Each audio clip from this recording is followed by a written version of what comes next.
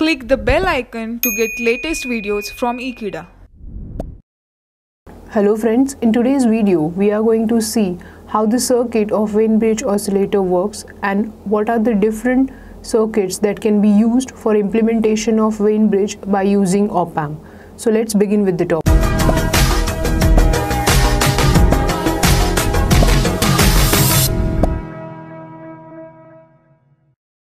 We know that oscillator is a circuit which is used for generation of oscillations at the output. These oscillations are nothing but the AC signals. Oscillator do not uses any input signal for producing the output signal, but it uses power supply and as long as the power supply is available, the oscillator produces signals at the output. For producing oscillations at the output, oscillator uses a feedback that is called as positive feedback. In case of positive feedback, the feedback signal, that means the part of output signal and the input signal are in phase with respect to each other. So if we use a inverting amplifier, then in that case, the amplifier introduces a phase shift of 180 degree and therefore to have a positive feedback, the feedback network required to introduce a phase shift of 180 degree. So basically the oscillator circuit consists of amplifier and a feedback network. But if we use this non-inverting amplifier, then the phase shift introduced by amplifier is 0 degree and therefore there is no need of feedback network to introduce a phase shift of additional 180 degree. So any circuit, for example, if we consider amplifier as an oscillator, so in order to work amplifier as an oscillator, the amplifier required to satisfy certain criteria and that is called as Barkhausen's criteria. So according to Barkhausen's criteria, the first condition is to have a phase shift around the loop is equals to 0 degree, 360 degree or multiple integral of 360 degree. And the second condition is mod of A beta is equals to 1 where mod of A beta is nothing but the loop gain. So the oscillators are get further classified into two type based on the component that we are going to use for implementation of the oscillator circuit. And the two major types are RC oscillator and LC oscillator. Now, in case of RC oscillator, the component uses are nothing but the resistors and capacitor. RC oscillators are basically used for low frequency and therefore they are also called as audio oscillators based on the component used in the feedback network the RC oscillator further classified into two types that is phase shift oscillator and Wien bridge oscillator. The major difference between phase shift oscillator and Wien bridge oscillator is in case of phase shift oscillator the feedback network is formed by using resistor and capacitor and each RC network introduces a phase shift of 60 degree. Therefore, if we connect three RC network in a cascaded manner, then the total phase shift introduces by a phase shift network or a feedback network is nothing but 180 degree. So if the amplifier used is inverting amplifier and if amplifier introduces a phase shift of 180 degree then in order to have a 0, 360 or integral multiple of 360 degree phase shift the phase shift network introduces additional phase shift of 180 degree. Now, in case of Wien bridge oscillator, the phase shift introduced by a feedback network is nothing but a 0 degree because in case of Wien bridge oscillator, the amplifier used is a non-inverting amplifier and non-inverting amplifier does not introduce any phase shift to the signal. Therefore, there is no need of additional phase shift introduced by a feedback network. So that is the major difference between RC oscillator with a Wien bridge network. Now let's see the circuit used as a feedback network that is nothing but Wien bridge oscillator circuit. The Wien bridge oscillator circuit consists of four arms that is AB, BC, CD and AD. The arm A to D is having a serial combination of resistor R1 and C1 whereas arm CD having a parallel combination of R2 and C2. The arm CD is called as frequency sensitive arm because the components present in this arm decides the frequency of oscillations of the oscillator circuit. The arms BC and AB consist of two resistors and they are R4 and R3. These resistors are basically used for generating a reference voltage which is remain constant and the frequency of oscillation is now not depend upon the value of R3 and R4 but it depends upon the component value that is nothing but R2 and C2. Now whenever we want to apply input to the Wien bridge circuit then in that case the input is applied between point A and point C whereas the output is taken between the point D and B. So whenever the basic Wien bridge circuit is connected in the feedback network then the input is applied between A and C and output is taken from D and C.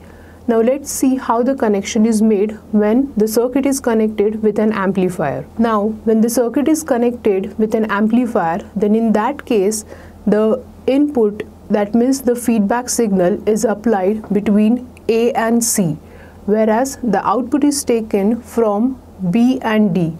So the output from B and D is applied as input to the amplifier. The output voltage now when the circuit is connected in the feedback network then in that case the output voltage that is a part of or a part of output voltage is given as a input between the point A and C and output is taken between the point B and D. Now let's see what are the criteria that required to be satisfied by the amplifier circuit and feedback network in order to have a sustained oscillation. In order to have a sustained oscillation, the feedback network must have a factor that means the feedback factor equals to 1 by 3. When beta is equals to 1 by 3 at oscillator frequency, then we can have a sustained oscillation.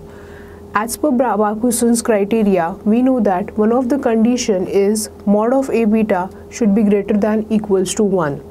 As A is gain of amplifier and beta is a feedback factor, therefore in order to have a sustained oscillation, in case of Wien bridge oscillator, the value of gain should be greater than 3.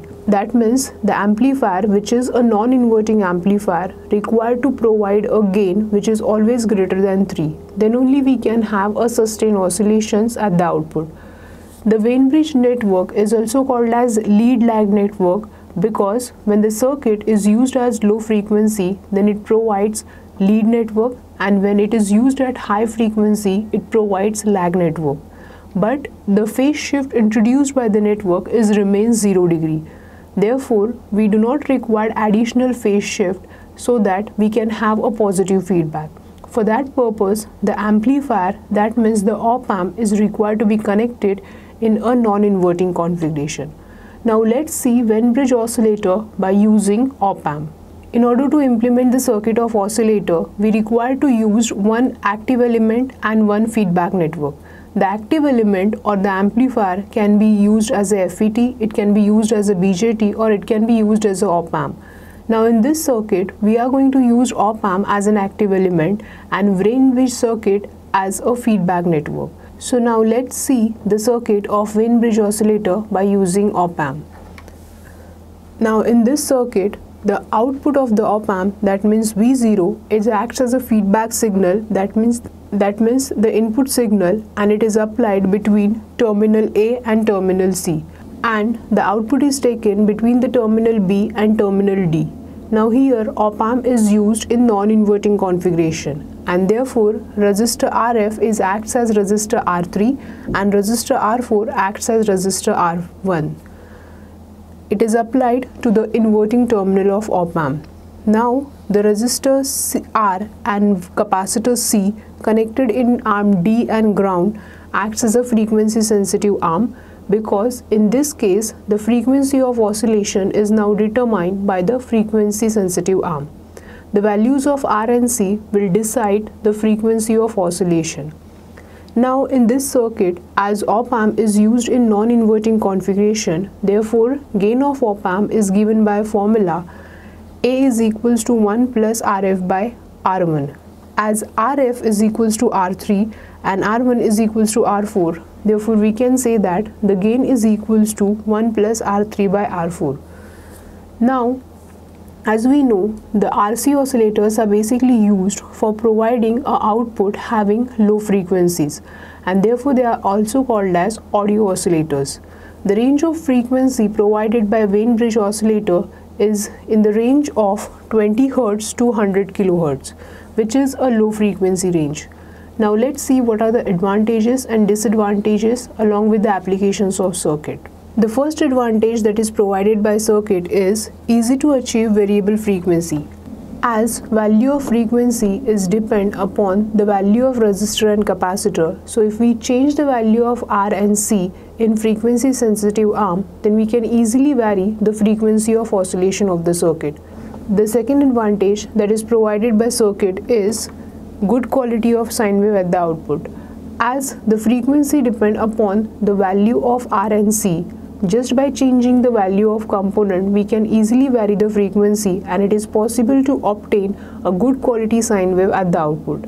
Whereas in case of RC phase shift oscillator, we require to change the values of all the three capacitors and all the three resistors at the same time. And it is quite difficult to change all the three components at the same time.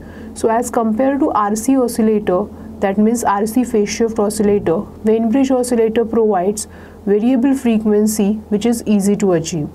Now let's see what are the disadvantages provided by the circuit. The first disadvantage is nothing but poor frequency stability.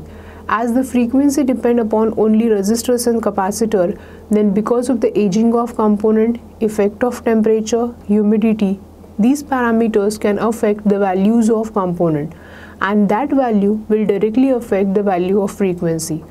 Due to this, the output obtained may have poor frequency stability. The second disadvantage is more number of amplifier stages are required. As we require proper output or if we require sustained output, we require to have more number of amplifier stages, then only we can have a sustained signals at the output. So this is what about the Wien bridge oscillator in which a Wien bridge circuit is used as a feedback network. Instead of connecting three RC network in cascaded manner, which provides a phase shift of 180 degree, if we used a Wien bridge network which introduces a phase shift of 0 degree only, then we can have a good quality sine wave at the output and we can have a variable frequency option also available. So rather than using RC phase shift oscillator with inverting amplifier, if we use a Wien bridge oscillator with non-inverting amplifier in which the phase shift is equals to 0 degree only then we can have sustained oscillations at the output. In this case the frequency is depend upon the value of only R and C. Therefore, there is no need to change the value of all the three capacitors or resistors at the time. Only by changing the component in frequency sensitive arm, we can change the frequency of output. So this is about, about the Wien bridge oscillator by using op-amp. I hope you understand the topic of Wien bridge oscillator using op-amp. So thank you very much for watching this video. Stay tuned to Ekeeda, subscribe Ekeeda.